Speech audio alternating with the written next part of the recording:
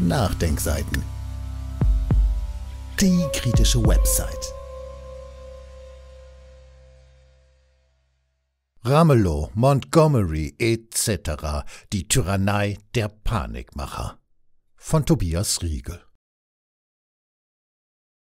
Ärztepräsident Frank Ulrich Montgomery fantasiert von einer Tyrannei der Ungeimpften.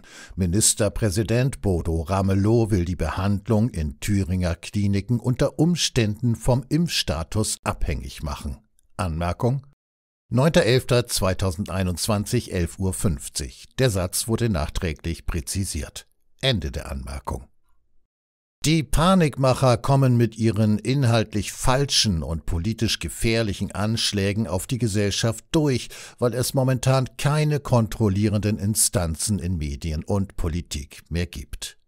Es gibt zahllose aktuelle Beispiele dafür, in welcher dramatischen Weise sich die Corona-Debatte von rationalen Inhalten verabschiedet hat und dafür, wie diese Irrationalität genutzt werden kann, um einfach irgendetwas zu behaupten und mit diesen Behauptungen die Menschen gegeneinander aufzuhetzen.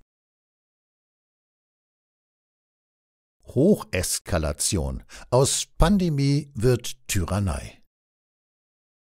Auf zwei Beispiele soll hier eingegangen werden. Auf die Behauptung des Ärztepräsidenten Montgomery, es gebe eine Tyrannei der Ungeimpften und auf die folgende Behauptung von Bodo Ramelow, Ministerpräsident von Thüringen, aus dem ZDF Morgenmagazin. Zitat wir haben eine Pandemie der Ungeimpften und wir werden niemandem mehr garantieren können, der ungeimpft ins Krankenhaus kommt, dass er überhaupt noch in Thüringen behandelt wird. Zitat Ende. Diese gefährliche und inhaltlich unhaltbare Äußerung Ramelows bezeichnet Norbert Hering in einem verlinkten Artikel treffend als einen Extremismus der Mitte. Zu Montgomerys Behauptung in der Talkshow von Anne Will, es gäbe eine Tyrannei der Ungeimpften, ist zu sagen, die Behauptung stellt die Realität auf den Kopf. Sie ist Orwellsches Neusprech. Denn tatsächlich gibt es eine Tyrannei der Panikmacher. Aber so gefährlich und falsch die Aussage von Montgomery auch ist, innerhalb der medial hergestellten Irrationalität der Corona-Debatte bedeutet sie eigentlich nur die folgerichtige Hocheskalation der Diffamierung von Millionen Menschen. Auf die angebliche Pandemie der ungeimpften folgt die angebliche Tyrannei durch diese Gruppe.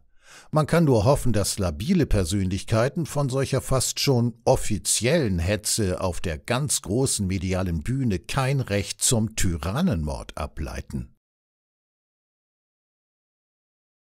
Offizielle Hetze gegen Andersdenkende dass die Realität genau andersherum zu beschreiben wäre, nämlich dass sich aktuell ein vor einigen Monaten unvorstellbarer verbaler Terror gegen Andersdenkende, in diesem Fall nicht geimpfte Bürger entfaltet, das zählt längst nicht mehr. Es gibt fast keine Stimme mehr, die sich traut, gefährlicher Meinungsmache wie der von Montgomery oder Ramelow entgegenzutreten.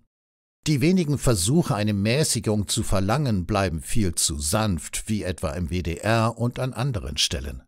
Als Ergebnis erleben wir eine von fast allen Politikern und großen Medien abgesegnete, also offizielle Hetze gegen Andersdenkende.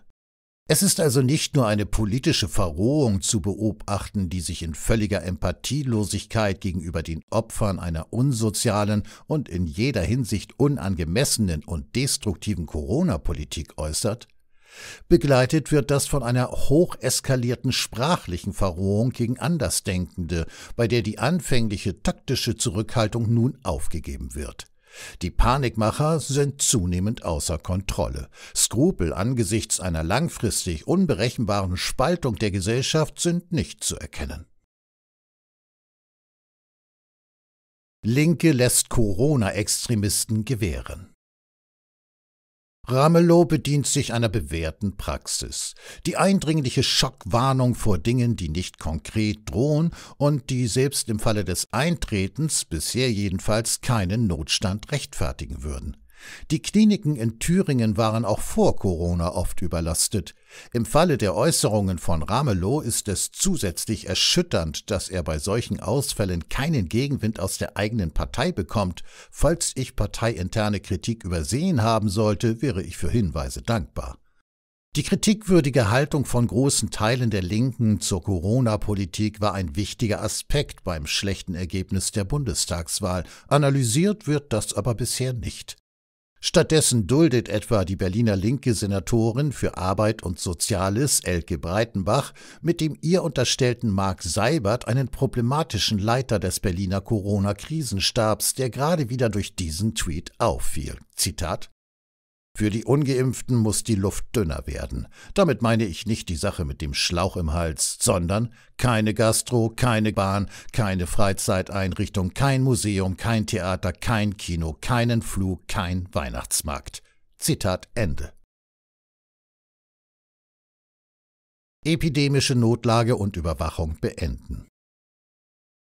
Die epidemische Notlage von nationaler Tragweite, alle Impfzwänge und vor allem sämtliche langfristigen Pläne für einen Gesundheitspass und andere Überwachungspraktiken müssten meiner Meinung nach unverzüglich, ersatzlos und unabhängig von der Impfquote gestrichen werden.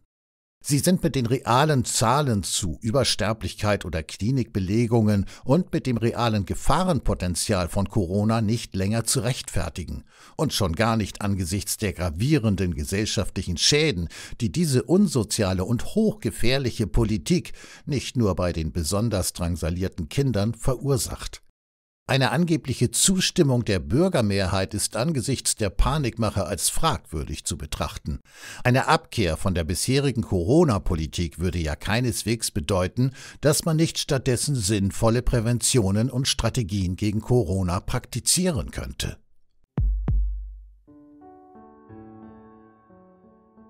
Dieses Audio konnte nur entstehen, weil zahlreiche Leser und Leserinnen die Nachdenkseiten fördern und durch Spenden unterstützen.